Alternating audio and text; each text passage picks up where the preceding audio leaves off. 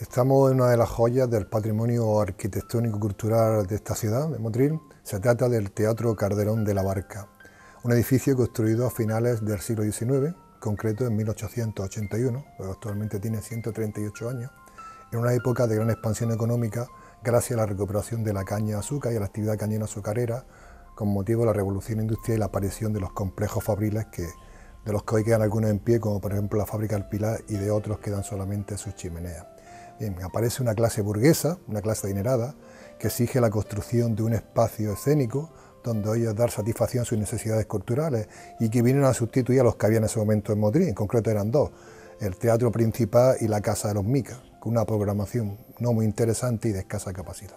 Entonces, tres miembros de esta sociedad burguesa motileña se unen y forman una sociedad tripartita. Son Juan Cervera, que era un comerciante, Antonio Dinelli, que era un industrial textil, y Benito Vidaurreta, que era un hacendado. Ellos son los que llevan a cabo este proyecto y en un año prácticamente se pone en pie. Parece que el autor, el arquitecto que diseñó este edificio es Antonio Díaz de Losada, ya que su firma aparece en la memoria del proyecto que se presentó ante la Academia de San Fernando para que el profesor Fabio Lago diera el visto bueno. Bueno, arquitectónicamente y estilísticamente es un edificio neoclásico con ciertas pinceladas eclécticas. Lo primero que contrasta cuando nos acercamos es, la diferencia que hay del, exterior con el interior. Exteriormente su fachada es más austera, parece un caserón clasista o parece incluso la fachada de una, de una fábrica, como por ejemplo la fábrica del Pilar, que construyó también este arquitecto. Pues, exteriormente su fachada es más austera, solamente está rematada por un frontón. En cambio, cuando entramos en su interior vemos su riqueza ornamental.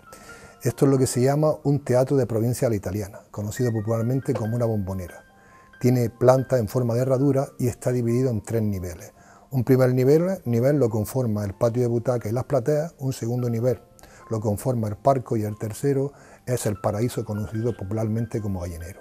Las plateas y los parcos están separados por unas columnitas de hierro fundido con capiteles corintios que le dan este carácter neoclásico al edificio.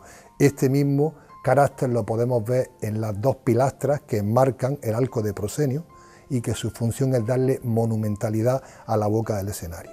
Todo el conjunto se remata con unas pinturas al temple que están en el techo, obra de Francisco de Muro, y como era costumbre en, esta, los teatros de esta época, recogen unos motivos extraídos de la mitología griega. En este caso son las musas del arte.